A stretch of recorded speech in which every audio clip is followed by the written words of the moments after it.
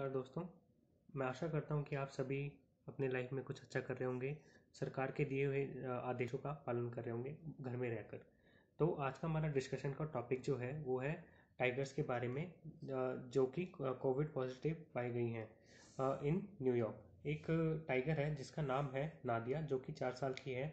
New York के एक जू में उसको कोविड पॉजिटिव पाया गया। उसके अंदर जो लक्षण पाए गए हैं, खांसने के छींकने के और उसको सांस लेने में भी काफ़ी दिक्कत हो रही थी। तो जब उसका टेस्ट किया गया, उसमें पाया गया कि वो कोविड पॉजिटिव है।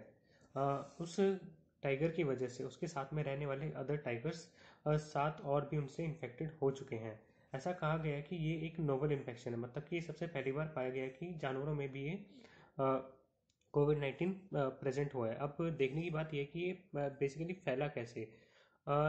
ज़ाहिर सी बात है कि वहाँ पर भी लॉकडाउन स्टार्ट हो चुका था बट जो उनके केयर टेकर है, उनके अंदर भी कोविड नाइन्टीन पॉजिटिव हुआ होगा और इसी वजह से उस टाइगर में भी वो पाया गया।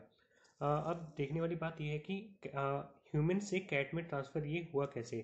अब बायोलॉजी के टर्म्स में बात करें तो हमारे पास एक प्रोटीन होता है जो कि ह्यूमन बींग में और कैट में दोनों में प्रेजेंट होता है, जिसका नाम होता है ए सी ई टू जिसकी वजह से ये इन्फेक्शन जो हुआ है, जो है पास हो पाया है।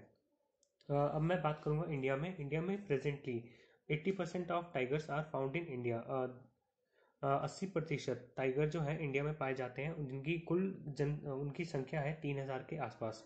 इस खबर को सुनने के बाद टाइगर रिजर्व्स ने, सभी ने इनके ऊपर भी कड़े आदेश जारी किए हैं इनकी प्रोटेक्शन के लिए, क्योंकि ये काफ़ी इंडेंजर्ड स्पीशी है।